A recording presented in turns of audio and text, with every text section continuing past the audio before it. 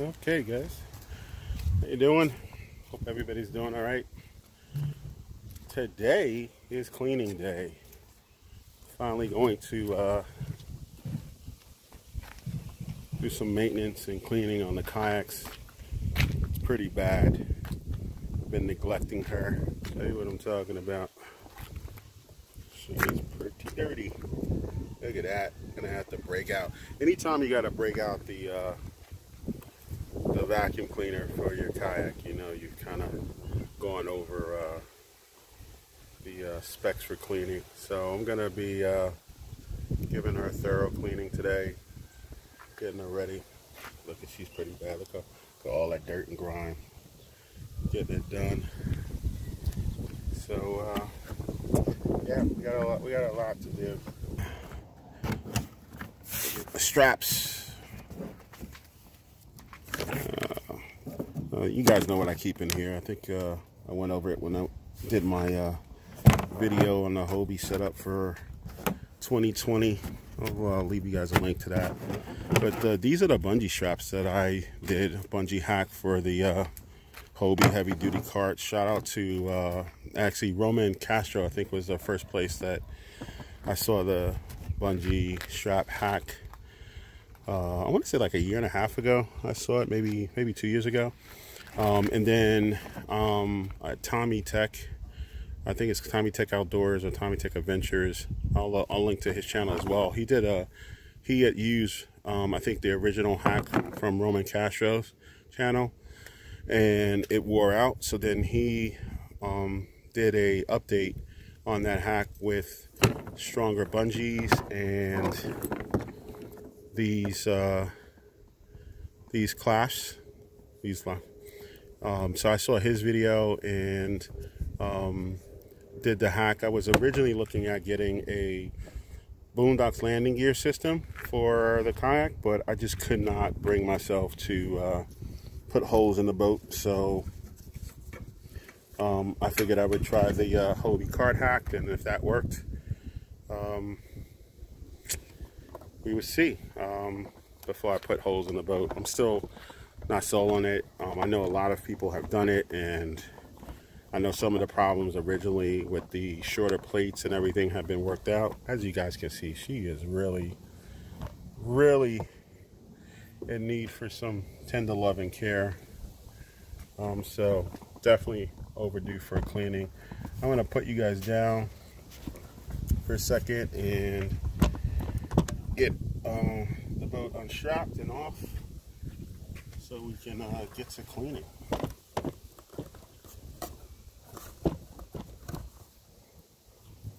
So yeah, it's a lot of good information out on uh, on YouTube. Thank you to all of the other fellow YouTubers and also on Facebook, the, uh, the groups on Facebook for Hobie owners, PA owners, and just kayak owners in general. It's a lot of great information. So that's where I got the uh, like I said, the information on the uh, straps. I just recently did this maybe a couple weeks ago, and it has worked out thus far. So, okay, so the one thing with the hack is you do lose the pin that normally comes with the Hobie. So when you're putting the card in, you can put the pin to keep it from dropping back through. So we've placed basically both of these with pad eyes, so you just have to, when you're taking it off, put the uh, on the, uh, the loop there so you can hold the Hobie cart through.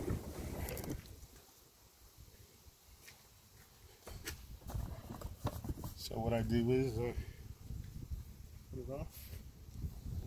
Now I'm, I'm going to be doing a video. I hope the audio is coming out. I'm going to be doing a video on the um, on our trailer too. A couple of people have asked for that, so slide it up in. And hook my uh, two connectors on. Hold them. I usually wrap it around the back.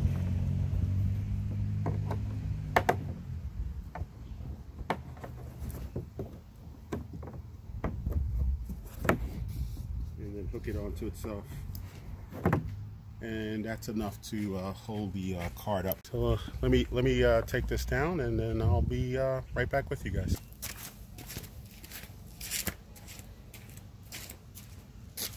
So for those of you who've seen my most recent video with my son Russell uh, and the Houdini fish, this is the donkey leash. Well, not the donkey leash, but um, I have replaced my donkey leash. So somehow, when I clipped on the fish and I clipped it to the boat to be able to grab uh, my phone to take some shots, I thought I closed the loop um, on the clip, but maybe I didn't. And the fish got off, so I lost the fish and I lost uh, my donkey leash. So we're calling that the Houdini crappie. But got my new donkey leash back.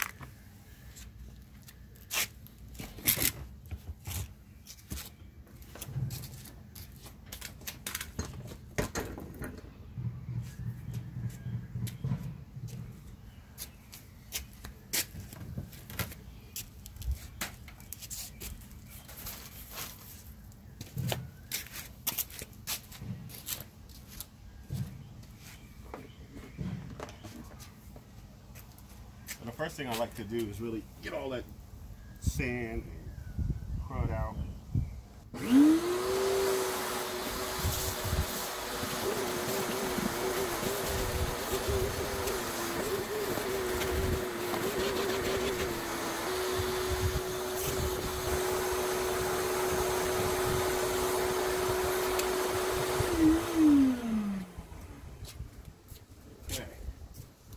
the best stuff that I found to really get your kayak clean and takes the stains away, especially the the uh, water level stain on the boat. So 3D bug remover. Um, you can find this in most of the uh, auto part places, but this thing is great. You don't need a whole lot of it either. This and a scrub brush. It's kind of all that's needed. So what I like to do is to get the 3D um, bug remover, cut it with some water. I put it in a sprayer, spray the kayak down in the heavy spots, let it sit and spray it off. A lot of it just comes off uh, just like that for the stubborn areas. I get the brush, little bucket of water, and go to work. So I usually use about about five ounces of this stuff and then I fill the rest with water. So again, you just spray this on, especially in the uh, stubborn areas. Let it sit for a little bit and then spray it off and then scrub the tough stuff.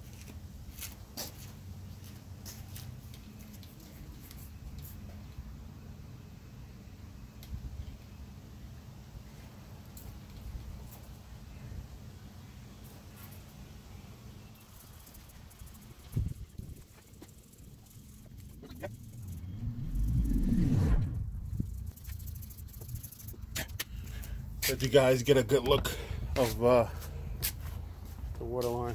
So you can see this staining on the side of the boat. There, you can see what it looks like before this stuff here. Back.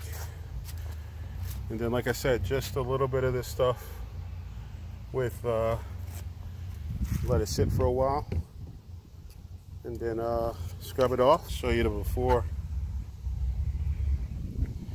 we're gonna like uh, we're gonna look at it after. And you'll see that most of this will come off just by spraying on this 3D bug remover and then spraying with uh, the regular garden hose.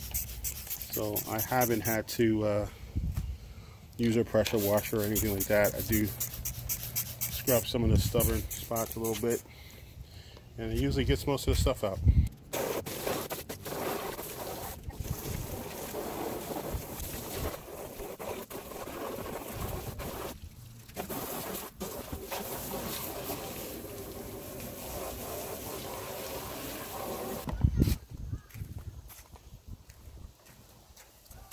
So as you guys can see, just from the initial, just letting it sit, not even 10 minutes, um, it's taken out most of that dirt. And then uh, I'm going to spray it again. And then I'm going to work on the uh, I'm going to work on the uh, the sides where I do need to take a uh, a brush to the uh, the water line. Those are usually more stubborn.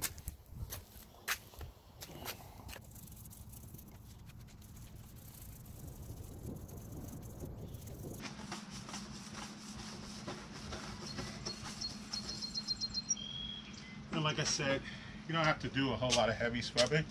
This 3D uh, 3D remover really does a good job.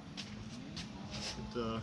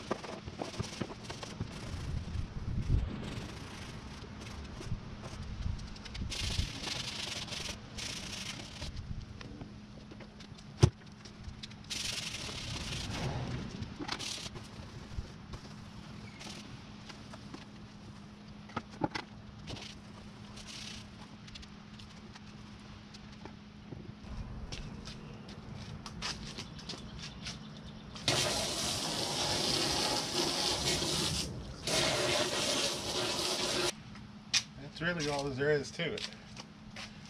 Pretty simple.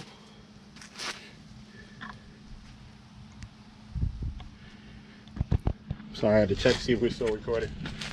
I'm having problems with the GoPro lately. So that's pretty simple. You see how quickly it cleans up, good as new. Um, I usually tip it after this. Take out the drain plug, make sure that there's no water in the hull, and it really is and I checked it when I was bringing it over. And then um, I get the drive.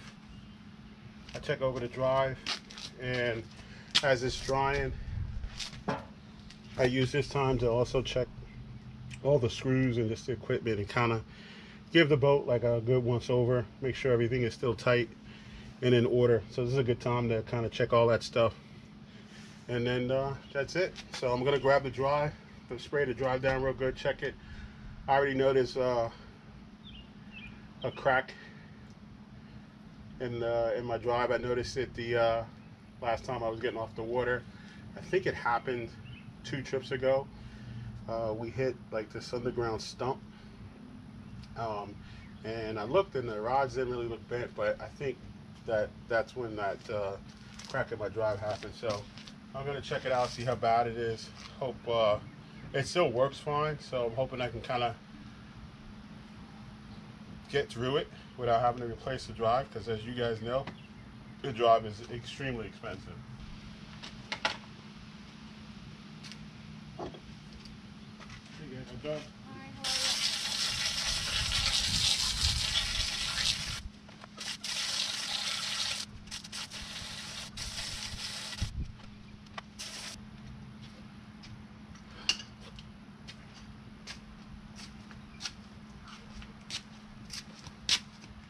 Don't know if you guys can see, but here is where a section of my drive broke off. Here's what it looks like normally. Here is where it broke off. I don't know if that's something that could easily be replaced. I'm to be doing some research on that. Looks like there's some screws here that takes this top part off. But I'm not sure if this is all one unit or not. I'm hoping that uh, can be some easy repairs on this. But yeah, so if anybody knows uh, and has the information on that, I would most appreciate it. But uh, that's what happened to my drive. So there you have it. She's looking pretty good. Still got some, like I said, I'm going to be checking it over checking over all the screws and everything, but she is looking as good as new. So that dirt from before, all those crevices, all that's gone. And like I said, guys, I'll show you this stuff. Like I said, I, I found out about it from another YouTuber, but this 3D bug remover, this stuff is the best stuff that uh, I found and just being able to really take all the stains and everything out of the kayak real quick. So again, appreciate your support. I'm gonna be trying to get out tomorrow if the weather cooperates and uh, get some more content. Uh, but thanks for the support. Thanks for everybody who's been leaving great comments on the channel. Hope everybody's staying safe. See you soon. Don't forget to like, leave us a comment, and subscribe to the channel. Bye.